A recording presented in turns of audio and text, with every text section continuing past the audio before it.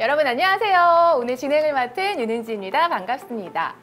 여러분들에게 여행이란 어떤 의미인가요? 설레임, 즐거움, 휴식 이런 것들이 혹시 먼저 떠오르시나요? 하지만 여행을 뜻하는 영어 단어 트래블의 어원은요. 고통과 고난이라고 합니다. 교통수단의 발달로 여행이 즐거운 의미로 바뀌었다고 하는데요. 하지만 아직도 교통수단의 어려움으로 선뜻 여행을 하지 못하는 고령자나 장애인 등 이동 약자들이 참 많습니다. 자, 그래서 최근 배리어 프리 개념이 도입되어 대도시를 중심으로 이동 약자의 여행과 이동에 대한 제약이 서서히 개선되고 있다고 합니다. 자, 그래서 오늘 아주 특별한 분들 모셔봤는데요. 이번에 굉장히 의미 있는 여행을 마치고 온 박병민 씨, 박치은 씨 나와주셨습니다. 안녕하세요. 안녕하세요. 반갑습니다. 네.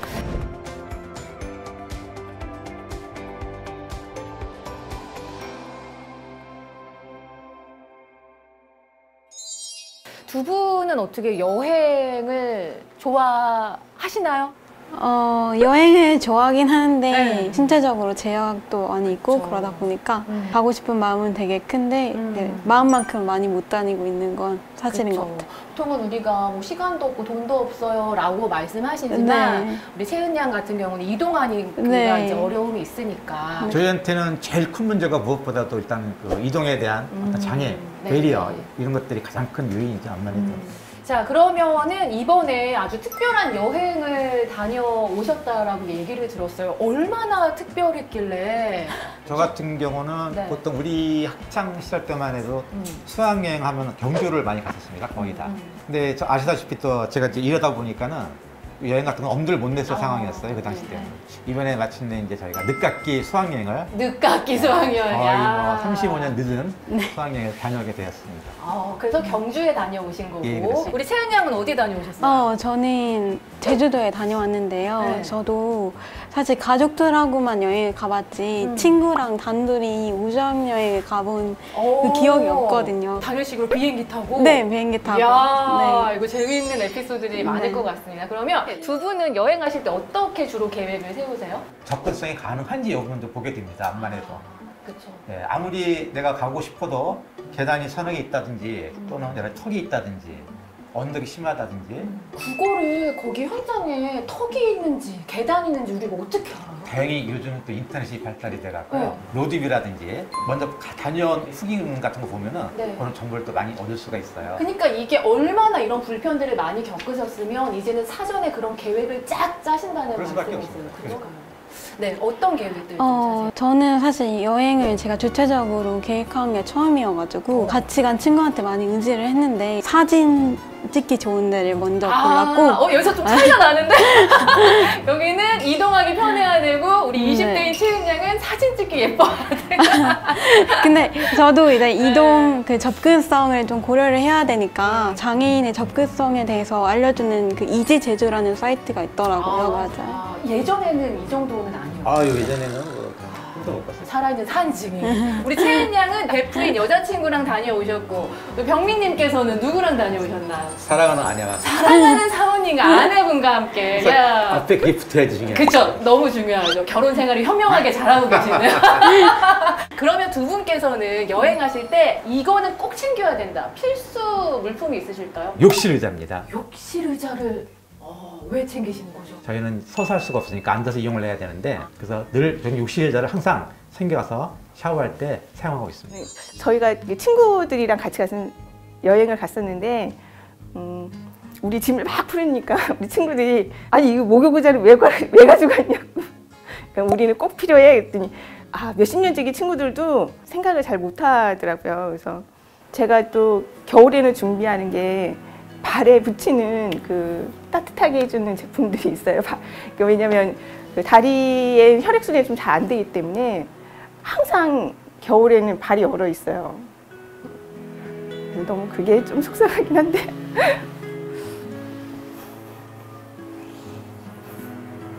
이제 본격적으로 굉장히 지금 말씀하시는 게 되게 네. 편하게 잘 즐기다 오신 느낌이거든요. 어떻게 즐기셨길래 기분 좋은 여행이 되셨을까요? 일단은 저희 이동 약자들에게 무료로 그 휠체어 전기 동력기를 대여해주는 서비스가 있습니다. 아, 그 이렇게 생각하면 돼요. 우리가 자전거인데 네. 페달 안 밟아도 그렇습니다. 자전거가 그냥 가듯이 그렇습니다. 네. 그러면 이게 전동 휠체어의 장점과 수동 휠체어의 뭐 가벼움이 장점이 다 모인 게 바로 그렇다고 볼 수 있죠. 아, 휠체어. 네. 야. 저는 제주도에 가서 스마트 드라이브를 수령하는 방식을 선택했는데 제주 공항에 휠셰어 부스가 있어서 스마트 드라이브를 대여할 수 있게끔 해주시고 처음이다 보니까 음. 숙달해서 여행을 잘 할 수 있도록 트레이닝을 하는 시간을 가져서 어. 그 부분도 장점인 것 같아요. 스마트 드라이브 같은 경우에는 스마트 워치로 이렇게, 이렇게 바퀴에 치거나 이렇게 접촉을 하면은 어. 알아서 이제 어. 이동이 가능하고 내가? 속도도 어느 정도 제어가 가능해서 편하게 다닐 수 있다는 게 가장 편한 것 같아요. 아니 유적지가 굉장히 많잖아요. 가장 인상 깊었던 곳이 있으셨어요? 고요 아. 불국사 가장 어, 인상에 남고 특히 첨성대 같은 경우도 첨성대, 예, 네. 늘 사진으로만 봤던 건데 이제 실제로 접하게 됐을 때 오는 감흥은 또 뭐라 말을 표현할 수가 없네요. 네, 이렇게 해서 즐거운 여행 하셨고, 제주도가 또 기가 막히잖아요. 야, 표정 아, 봐요, 네. 지금. 네. 아, 어디가 가장 좋았어요? 아르떼 뮤지엄이라고 아르떼 뮤지엄? 약간 박물관식으로 예술적으로 이렇게 조성된 어떤 박물관이 있어요. 그래서 돌아다니면서 막 사진 찍고 사진 찍을 때 많아서 좋았구나. 네, 아니, 그리고 허, 저 사진을 보세요. 저 저거 보고 깜짝 놀랐잖아요, 세상에. 저 바다를 배경으로. 네. 야 사진 너무 잘 나왔어요. 어, 인생샷 많이 남겼어요. 네. 인스타에 다 올려가지고 여행하시면서 조금 불편했던 상황이 있으셨다면? 일단 말씀하신 것처럼 제가 아무리 알아보고 가더라도 음. 일단 턱이나 뭐 계단이나 이런 게 있을 때는 도움을 받아서 가야 되는 아. 부분이 있어서 완벽하게 베리어 프리하지 않은 부분이 좀 발견돼서 어, 우선은 코스를 짜는데 턱이 있어야 되는지 확인해야 되니까 로드뷰를 다 켜가지고 턱이냐 없냐 확인도 하고 정보가 수집하기가 어려운 것 같아요. 정보로만 의존하는데 사실 그 정보가 맞는지조차도 열심히 듣는 거죠. 저 같은 경우는 채연이 같은 경우는 친구랑 같이 멀리 가는 거 처음이라고 하더라고요. 저는 자주 갔지만 그 친구는 모를 거 아니에요. 저는 제주도에 몇 번 가봤지만 그래가지고 어떻게 계속 물어봤어요. 가고 싶은 데 있냐? 가고 싶은 데 진짜 집착하듯이 계속 물어봤는데 친구가 처음 가는 것만큼 진짜 최선을 다하고 싶었던 것 같아요. 사실 되게 많이 망설였는데 그래도 함께 해준다는 마음을 내비쳐주고 그런 코스를 짜고 여행하는 와중에 흔들리는 마음을 다잡아주고 옆에서 응원을 해줘서 정말 고맙다고 이야기해주고 싶어요. 어떤 공익 광고에 보면은 네. 그 뉴욕 지하철이 이렇게 나오고 지하철 계단 위에 산을 이렇게 입힌 그림이 나오면서 그런 음. 문구가 있습니다. 누구에게는 이 계단은 에르베트 산입니다. 에베레스트 산 처음 예. 그러면 저도 이번 경주 여행에서 느낀 건데 또 이제 불국사 내에서도 거의 다 많이 편의성이 잘 장치가 되어 있긴 하지만 일부 또 미흡한 부분이 아직도 많은 사실이에요. 계단이 몇 개 있어서 그 계단을 오르려고 다른 경사로 이용하려면 한 거리를 반 바퀴 정도 쭉 돌아서 가야 된다든지 아쉬운 디테일한 배려가 좀 아쉬운 점이 있다고 할 수가 있어요. 그런 경우가 비일비재합니다. 예. 그러면 이번에 이렇게 어, 휠쉐어를 통해서 함께 하신 동반자분들의 반응은 또 어떤지. 아내 같은 경우는 그 전에 이제 그 헬스를 제가 만나기 전에는 둘만의 힘으로 이제 여행을 다녔었는데 장기간 도보가 가능하고 두 번째 또 어디 가나 이렇게 언덕 같은 경우도 손쉽게 오랑낼 수 있으니까 훨씬 편해졌다고 볼 수 있죠. 어, 저는 약간 항상 여행을 다닐 때 누가 뒤에서 끌어주는 수동적으로 여행을 다니는 느낌이었는데 이제 친구랑 나란히 걷기도 하고 너무 좋은 추억이 되었다고 얘기를 해서 개인적으로 너무 감사하고 만족하고 있어요. 와, 나란히 걷는다는 데서 딱 제가 느낌이 오네요. 그러니까 결국 배리어 프리가 휴지 프리가 된 거죠 어떻게 보면. 그러니까. 음. 어, 예전에 그냥 휠체어는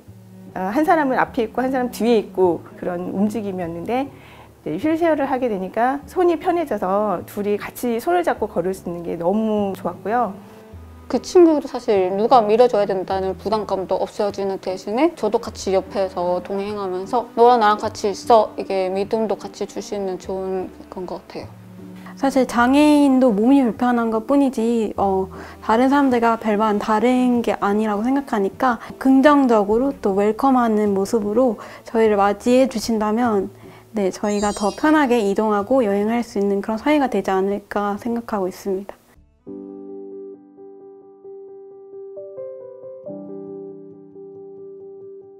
이 많은 장애를 가지신 분들이 여행도 많이 다녀셨으면 좋겠고 여행지 유무를 떠나서 과감하게 한번 도전해보고 나와라고 얘기하고 있습니다 한 번, 두 번 시도해보고 그럼 자신도 생기고 그런 작은 장애를 두려워하지 말라는 말씀을 꼭 드리고 싶어요 어, 시작하는 건 참 어렵지만 한번 해보니까 그러, 그렇게 어려운 게 아니라는 걸 깨달아서 조금만 용기를 가지셨으면 좋겠습니다.